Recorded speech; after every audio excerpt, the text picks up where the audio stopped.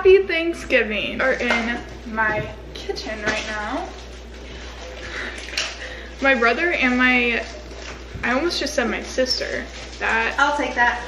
my mom, they're in the room right now. So if you hear things, that's okay. But today is Thanksgiving and I am baking the dessert. And so I'm very nervous and I just want to get it started. So I thought I would do a bake with Aubree recipe down below. The thing that makes this a little bit more difficult is I can't eat gluten or dairy. And so we're making dairy-free, gluten-free desserts. They're pumpkin cookies. My friend Caitlin actually made these for me, which is so sweet of her, on Monday. And I ate like five of them. And then she gave me two to bring home. And I ate them the first day I came back. And so I just, I just really want to make some that way.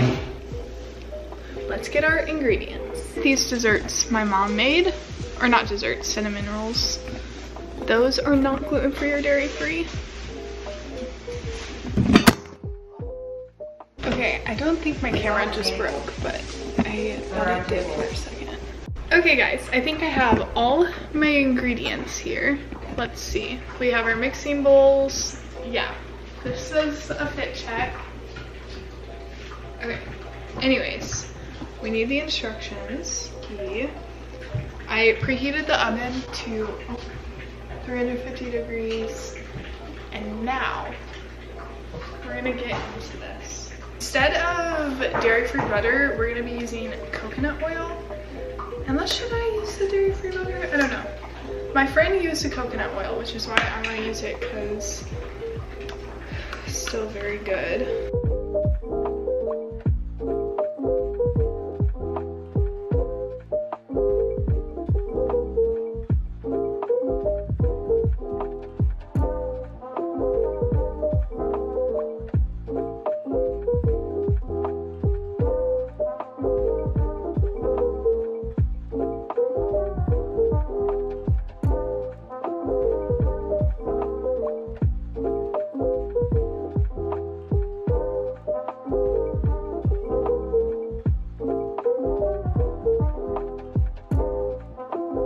Getting scary.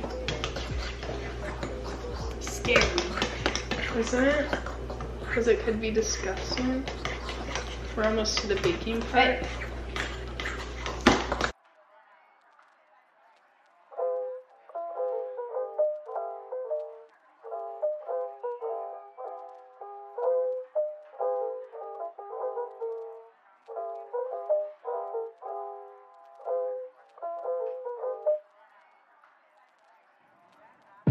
Cream cheese, what I have is I have the coconut oil again, powdered sugar, vanilla extract, and then vegan cream cheese. I don't really know what to mix this in though.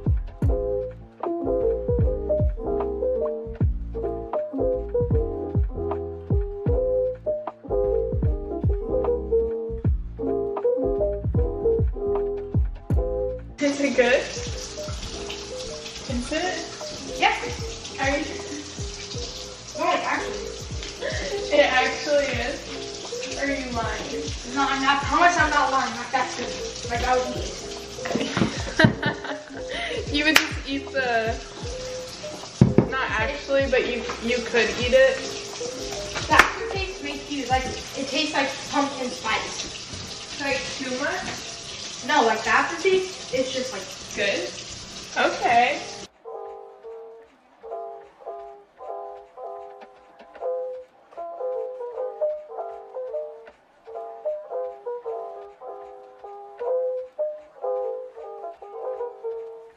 Two pans done. We still have some more um, room or some more batter. So I'm gonna put the rest on here. And I think the oven is ready, so we're gonna put them in, see how long.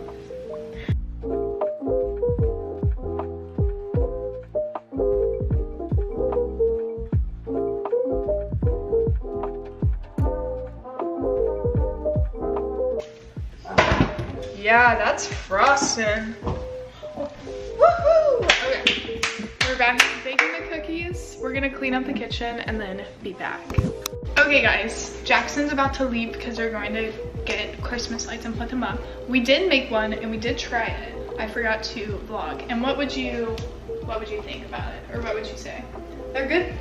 They're good. That's the final opinion. I tried it, my dad tried it, and I tried, or what? Me, me. Jackson, me, and my dad tried it, and we thought it tasted pretty good for being gluten-free, dairy-free. I will say they did turn a little brown. They're cooling right now.